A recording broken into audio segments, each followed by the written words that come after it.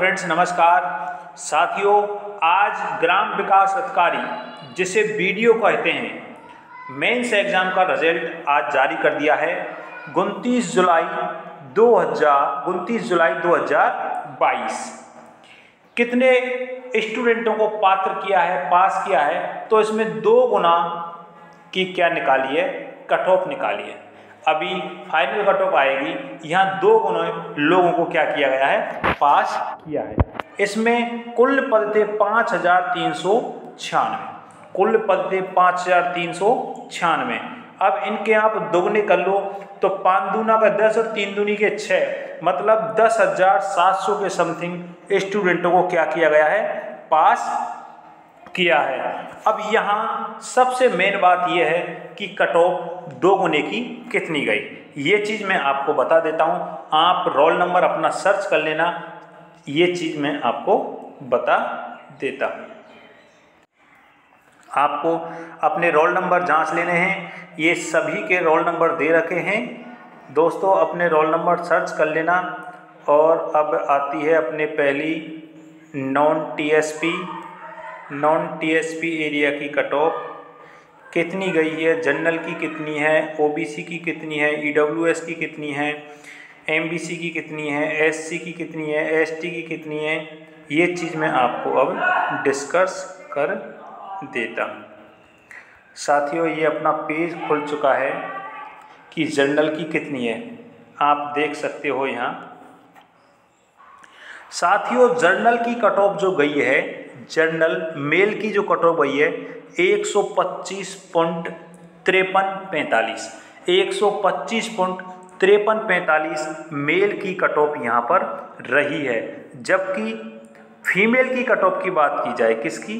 Female की cut of की बात की जाए तो 113 कितनी? 113 पॉइंट बारह, ये रही है। जबकि डब्ल्यू डी, एक डिवोर्स और विधवा इनकी बात की जाए तो तिरपन पॉइंट तिहत्तर और इक्यानवे। ये इनकी कट ऑफ़ रही है। जबकि ई e की बात की जाए ई e की यहाँ बात की जाए ई e तो जनरल की गई है 118 फीमेल की गई है 106 एससी की बात की जाए तो एससी में जनरल की गई है 102 और फीमेल की गई है 100 मतलब पिचासी। मेल और फीमेल 102 और फीमेल की पचासी। आगे बात होती है एसटी की। एसटी की कट ऑफ़ यहाँ जनरल की निन्यानवे पॉइंट अस्सी और फीमेल की गई है नवासी पॉइंट अड़तीस। अब आती है बात ओबीसी की। ओबीसी की और एमबीसी की। आपको पता है कि ओबीसी की कट ऑफ़ जनरल के समथिंग रहती है। जनरल की जो कट ऑफ़ जाती है जनरल की 125 गई थी तो यहाँ ओबीसी की एक पॉइंट चौवन गई है। अब आप अंदाज़ा लगा लो कि जो ओबीसी को 21 प्रतिशत जो आरक्षण दे रखा है, क्या ये आरक्षण ओबीसी को पूरा आरक्षण के लिए फ़ायदा मिल रहा है क्या? नहीं। मेरे दोस्तों ओबीसी वालों, अभी तुम जाग जाओ, क्योंकि जो ओबीसी का जो आरक्षण है, उसमें से साढ़े बारह परसेंट बारह पॉइंट पाँच प्रतिशत आरक्षण हॉरिजेंटल क्षेत्र वाले जो आर्मी के जो ए, लोग हैं वो इसका क्या ले रहे हैं? फ़ायदा ले रहे हैं। इसका लाभ उठा रहे हैं। तो इसलिए आपको वो आंदोलन भी ये वो चल रहा है अलग से ग्रुप ओबीसी का बना हुआ है। तो उसमें आप जॉन हो सकते हो और जा भी सकते हो। और ओबीसी के कुछ हमारे भाई हैं, वो अपने ओबीसी के प्रति लगे हुए हैं। तो ओबीसी की जो कट ऑफ़ जाती है, ये समथिंग जनरल के इर्द गिर्द में रहती है। जितनी जनरल की रहती है, उतनी ही क्या रहती है? ओबीसी की कट ऑफ़ रहती है।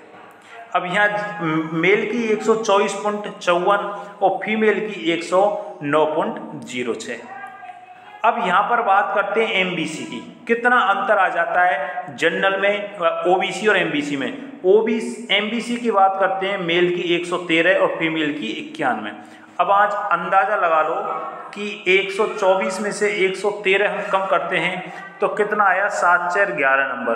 तो 11 नंबर का अंतर आता है किसमें? ओ बी सी और एम बी सी में। ओ बी सी और एम बी सी में 11 नंबर का अंतर आ रहा है। और जबकि एस टी की बात की जाए, किसकी? एसटी की यहाँ की बात की जाए तो एसटी की मात्र कितनी गई है? निन्यानवे गई है। निन्यानवे गई है। मतलब कितना अंतर आ गया? 25 का अंतर आ गया है। अब तुम अंदाज़ा लगाओ ओबीसी वालों की कट आपकी कहाँ जा रही है? कितनी आसमान छू रही है? ईडब्ल्यूएस की बात की जाए तो ईडब्ल्यूएस की यहाँ मात्र 118 गई है।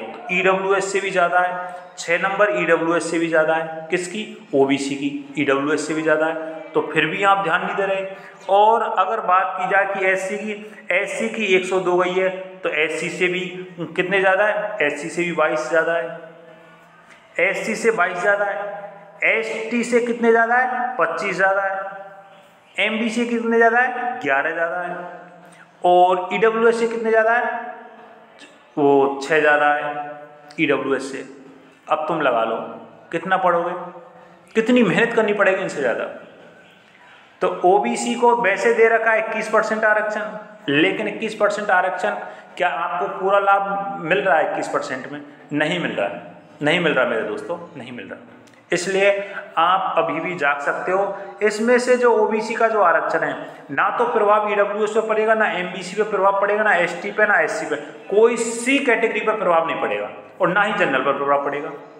इसमें से। ओबीसी वाले सिर्फ़ क्या कर रहे हैं? ओबीसी वाले जो मुद्दा उठा रहे हैं किस उठा रहे हैं? ओनली फॉर जो 21 परसेंट जो आरक्षण दे रखा है 21 परसेंट जो ओबीसी का आरक्षण दे रखा दे रखा है, बस उसी पर चर्चा कर रहे हैं ये लोग।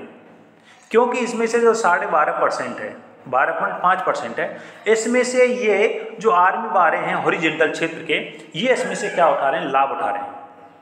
तो ये 21 जो परसेंट है, ये कह रहे हैं कि जो हमारा 21 परसेंट है, वो हमें पूरा दें। 21 प्रतिशत दें। ओबीसी वालों का कहना है कि जो 21 परसेंट आप दे रखा है, वो हमें पूरा दें। जैसे एससी के लिए 16 परसेंट दे रखा है एसटी के लिए 12 परसेंट दे रखा है, ऐसे ही जैसे ईडब्ल्यू एस है, दस परसेंट दे रखा है। तो इनके लिए जैसे पूरा परसेंट दे रखा है, ऐसे ही ओबीसी वालों के लिए जो इक्कीस परसेंट है, उनके लिए इक्कीस परसेंट पूरा एन होना चाहिए, सेफ़, साफ़ होना चाहिए, साफ़ सुथरा के लो आपको इक्कीस परसेंट हमने ओबीसी को आरक्षण दे दिया गया है। तो इसलिए अगर ओबीसी को इक्कीस परसेंट आरक्षण यहाँ पर मिल जाता तो यहाँ भी कट ऑफ़ कितनी रहती?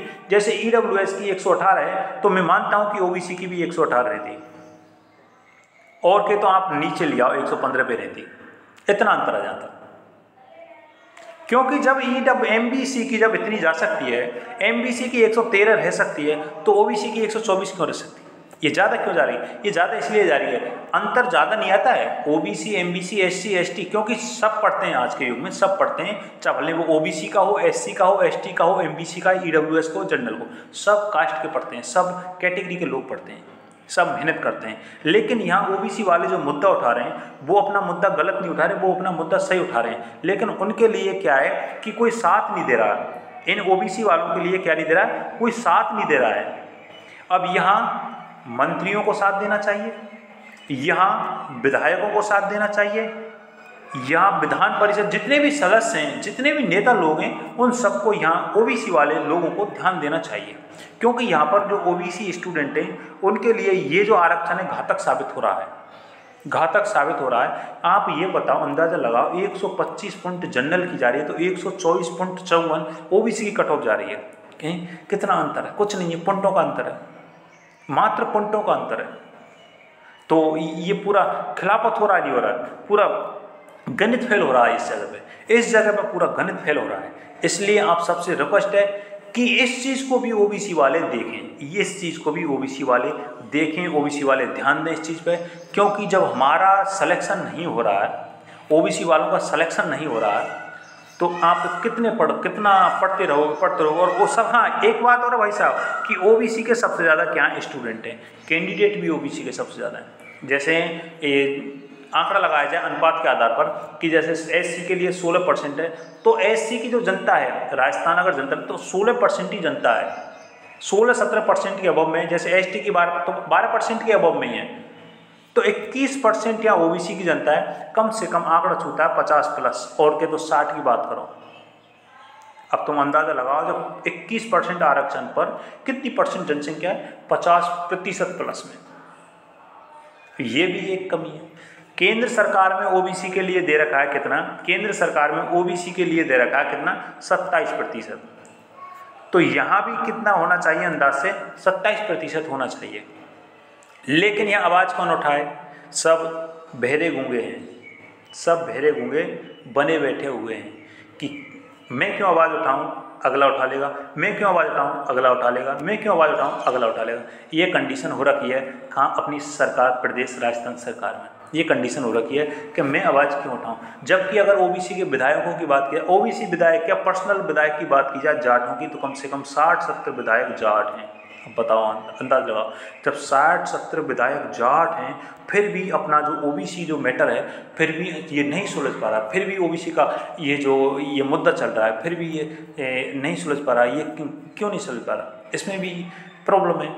तो इसलिए इस चीज़ को यहाँ क्या है कि ओबीसी के लिए 21 परसेंट जो आरक्षण दे रखा है इससे आप